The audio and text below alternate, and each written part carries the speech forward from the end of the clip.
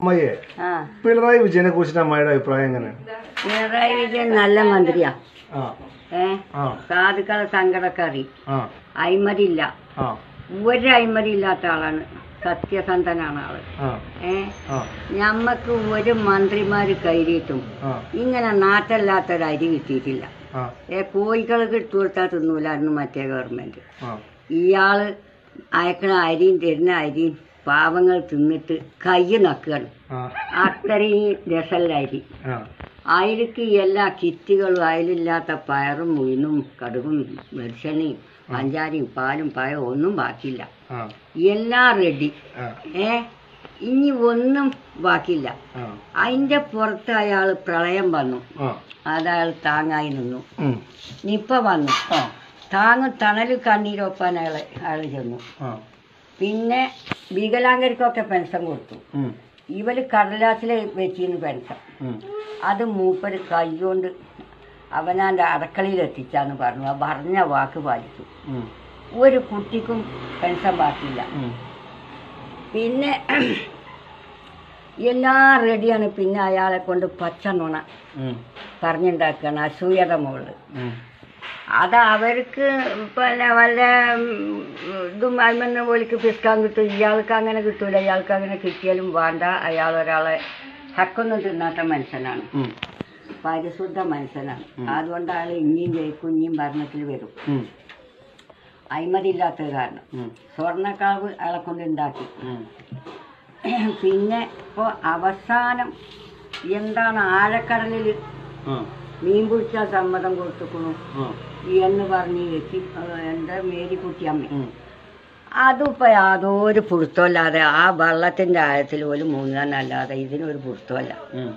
ഇങ്ങനെയൊന്നും മാന്തിയിട്ട് ഓൾക്ക് ഓട്ട് കിട്ടൂല. കട്ടിട്ടും മുക്കിയിട്ടും നക്കിയിട്ടും പറഞ്ഞ കൂട്ടരാണ് ഓൽ മനസ്സിലായോ. ഇതൊന്നും ചെയ്യാത്ത ഒരാളാണ്. അപ്പൊ ഇതിന് കുറ്റുണ്ടാക്കിയ ഞങ്ങൾ ഈ സാധുക്കളൊന്നും വക വെക്കൂല. എന്റെ കുടുംബത്തോട് കൂടെ പറഞ്ഞ് മനസ്സിലാക്കി കൊടുത്തിട്ട് ഈ മുഖ്യമന്ത്രിക്ക് തന്നെ വോട്ട് കൊടുപ്പിച്ച്. മനസ്സിലായി? പിന്നൊരു കാര്യം കൂടി ഉണ്ട്. ആ. അതെ. വോട്ട് നമുക്ക് ഇഷ്ടമുള്ളൊക്കെ ചെയ്യാം. ഇപ്പോഴത്തെ ഇതിൽ മറ്റേ അമ്മാര് ഇതിൽ ഇപ്പൊ ആരധികാരത്തിൽ വരുന്ന അമ്മാര് പിണറായി വിജയൻ തന്നെ വരും. പൗരത്വത്തിൽ. പിണറായി എടുത്ത മറ്റേ തീരുമാനങ്ങൾ എങ്ങനെ അയ്യാ. പിണറായി ഇല്ലെങ്കിൽ നമ്മൾ ഇന്ന് കേരളത്തിൽ ഉണ്ടോ ഉണ്ടോ? ഏ? അത് ന്യൂനപക്ഷത്തിന് ഓർമ്മ ഉണ്ടോ? ഇന്ന നമ്മൾ വിജയിക്കും. ആ. അതിന് അതിൽ യാതൊരു ആപ്പീലുമില്ല. അത് അങ്ങനെ ഞമ്മക്ക് ഒരു രക്ഷകനായിട്ടാണ് അയാൾ വന്നിക്കുന്നത് മനസ്സിലായോ. ഓല ആ പെരുപ്പൊന്നും ഇനി വേകൂല ഇത് വേഗ പിണറായിയുടെ പരിക്കുള്ളൂ. ഇവലിന് വെറുതെ വറുകളേണ്ട അപ്പോ അപ്പോൾ എനിക്ക് അയാളെ നേരിലൊന്ന് കണ്ടിട്ട് നാൾ വർത്താനം പറയാൻ ആഗ്രഹമുണ്ട്. ഉണ്ട്.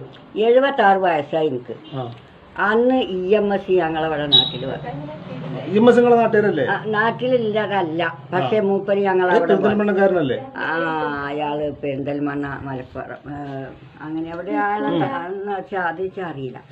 പക്ഷെ ഞാനന്ന് കുട്ടിയ പന്ത്രണ്ട് വയസ്സായത് ഞങ്ങളവിടെ വരുമ്പോൾ ഉം. ആ കാലത്ത് അയാളെ പ്രസംഗം കേട്ടപ്പോൾ എന്റെ മനസ്സ് അന്ന് ഈ പന്ത്രണ്ട് വയസ്സിലേക്ക് പതിഞ്ഞതാ. പിന്നെ എന്റെ അമ്മ എന്റെ ആങ്ങളാര്. ഇപ്പൊ ഏതെങ്കിലും ആങ്ങളെ മാറിക്കണമെന്ന് എനിക്കറിയില്ല. അന്നത്തെ ആങ്ങളാര്. ഒക്കെ ഈ മാർച്ചിസിനാ വോട്ട് ചെയ്തിരിക്കുന്നത് ഇപ്പൊ എനിക്ക് മൂന്ന് മക്കളുണ്ട്. ഈ മൂന്നാളും ഈ മാർച്ചിസിനാ എന്റെ ഭർത്താവും.